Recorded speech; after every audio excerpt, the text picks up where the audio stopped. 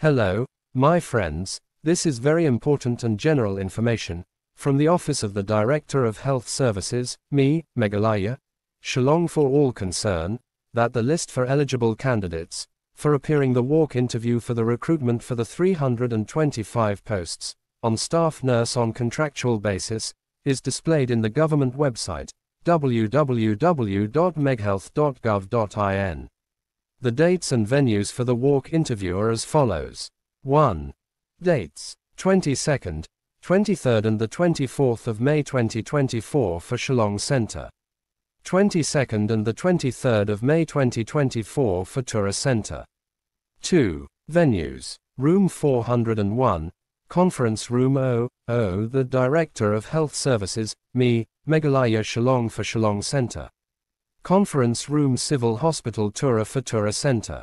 The dates and times for appearing the walk interview is as displayed against the name of the eligible candidates. So, all candidates who are apply and eligible for the post kindly request to remember this very important information. If you are a new viewer, I kindly request to please share, like and subscribe to my channel, thank you.